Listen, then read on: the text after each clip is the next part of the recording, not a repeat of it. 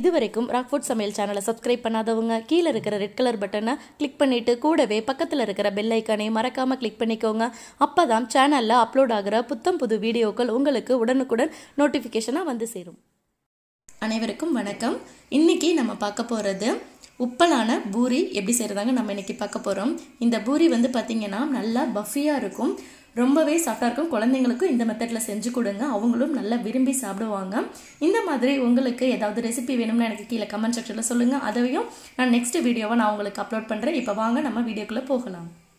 இப்போ பூரி செய்கிறதுக்கு நான் இன்றைக்கி நாலு கப் கோதுமை மாவு எடுத்திருக்கேன். அதுக்கு ரெண்டு டீஸ்பூன் அளவுக்கு மைதா சேர்த்துக்கிறேங்க. மைதா சேர்த்துட்டு ஃபஸ்ட்டு மாவை வந்து நல்லா ஒன்று சேர்த்துக்கோங்க. சேர்த்ததுக்கப்புறம் நம்ம தேவையான அளவு உப்பு சேர்த்துக்கலாம். மாவை வந்து ஃபஸ்ட்டு இப்படி கிளறும் போது விரல் நுனிகளால் கிளறிக்கோங்க. கிளறினதுக்கப்புறம் நம்ம லேசாக தண்ணி தெளித்து தெளித்து மாவை ஒன்று சேர்த்துக்கலாங்க.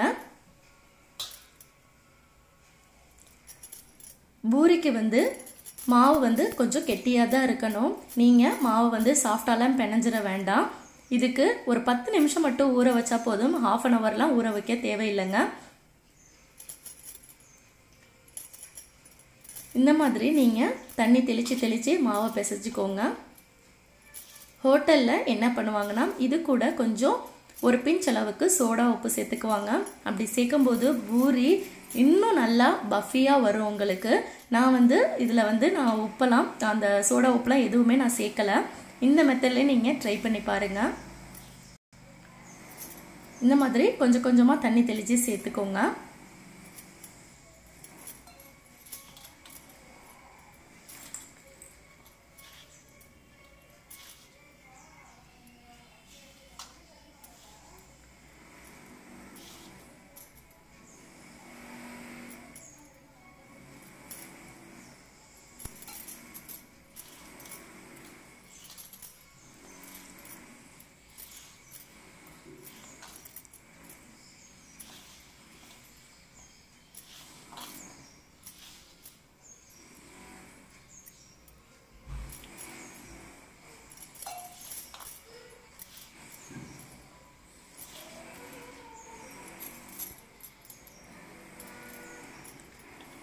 பாருங்கள் மாவு எல்லாம் ஒன்று சேர்த்தாச்சு. இதுக்கு மேலே நம்ம தண்ணி சேர்க்க வேண்டாம். உங்களுக்கு தேவைப்பட்டுச்சுன்னா ஒரு கால் டீஸ்பூன் அளவுக்கு மட்டும் நீங்கள் எண்ணெய் சேர்த்துக்கலாம். இப்போ அவ்வளோதான் மாவு வந்து நம்ம திரட்டியாச்சு பாருங்கள் இந்த அளவுக்கு மாவு கொஞ்சம் சாஃப்டாக இருந்தால் போதும். ரொம்ப சாஃப்டாக ஆக்கிறாதீங்க நான் இப்போ ஒரு அரை டீஸ்பூன் அளவுக்கு நெய் சேர்த்துக்கிறேன். மாவு வந்து மேல் மாவு வந்து காயாமல் இருக்கிறதுக்காக நான் நெய் வந்து சேர்த்துருக்கேன். இப்போ இது ஒரு பத்து நிமிஷம் ஊறட்டும். அந்த கேப்பில் நம்ம எண்ணெய் காய வச்சிடலாங்க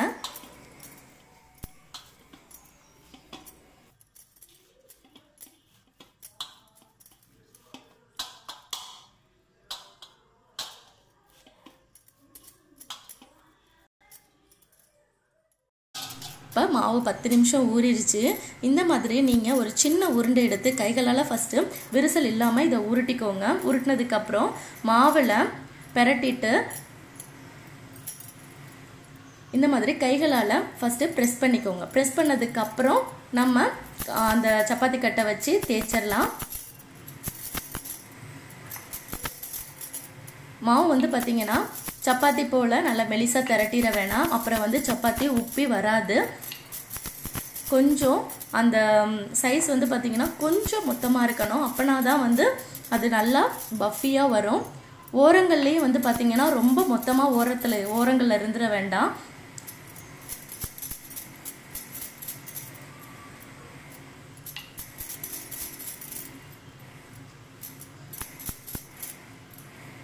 உங்களுக்கு ரவுண்ட் ஷேப் வரணும்னா நீங்கள் ஏதாவது டிஃபன் பாக்ஸ் மூடி அந்த மாதிரி ஷார்ப்பாக இருக்கிற மாதிரி மூடி எடுத்து நீங்கள் இதை ப்ரெஸ் பண்ணி எடுத்துக்கலாம்.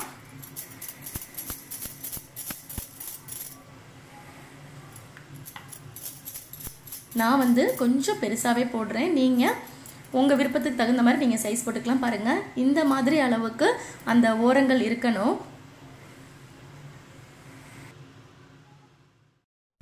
இப்போ மாவு வந்து நான் பூரிகளாக தேய்ச்சி வச்சுட்டேன். இப்போ எண்ணெய் நல்லா சூடாக இருக்கணும். சூடாக இருக்கும்போது நம்ம போட்டதுக்கப்புறம் இந்த மாதிரி கரண்டிகளால் லேசாக வந்து நீங்கள் எண்ணெயில் அமுத்தி விடணும். அப்போ பூரி வந்து நல்லா மேலே எலும்பி வரும். இப்போ பாருங்கள் நீங்கள் கரண்டி வச்சு ப்ரெஸ் பண்ணும்போது அதில் வந்து எதுவும் ஓட்டை இல்லாமல் பார்த்துக்கோங்க நீங்கள் மாவில் ஏதாவது அந்த கரண்டி ஏதாவது வச்சு அமுக்கும்போது ஓட்டை விழுந்துருச்சுன்னா மாவு வந்து அந்த பூரி வந்து மேலே எலும்பி பஃபியாக வராது. அவ்வளோதான் ரொம்ப ரொம்ப சிம்பிளாக நல்லா பூரி வந்து நமக்கு நல்லா பொசு பொசுன்னு நமக்கு வரும். நீங்கள் கரண்டி வச்சு லேசாக அதை வந்து அமுத்தி விட்டால் போதுங்க.